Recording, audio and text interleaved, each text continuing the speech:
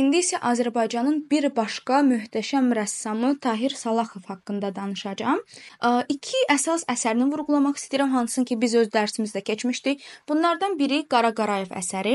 Azərbaycanın ən böyük bəstəkarlarından biri olan Qara Qarayevin xatirəsinə həsr olunmuşdur.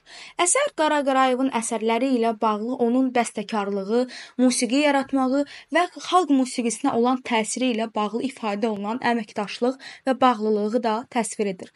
Əsər Salaxov Rəsulovun fəlsəfi baxışını və bəstəkarın musiqi mirasına olan hörmətini də ifadə edir.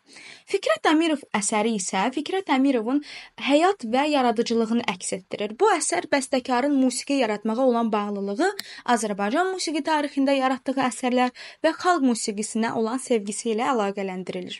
Salaxov Fikrət Əmirovun yaradıcılığına hörmətini ifadə edir və onun Azərbaycan musiqi tarixindəki yerini vurğulayır. Bu əsərlər Tahir Salaxovun Azərbaycanın musiqi musiqi və incəsənət sayəsində böyük simalardan birinə olan hörmətini və əməkdaşlığını da ifadə edir. İkilinin bağlılığı Azərbaycanın musiqi və sənət tarixində böyük bir rolu olan Fikrət Əmirovun və Qara Qarayevin xatirələrinə olan hörmət və minnətdarlığı yansıtmağa nail olur.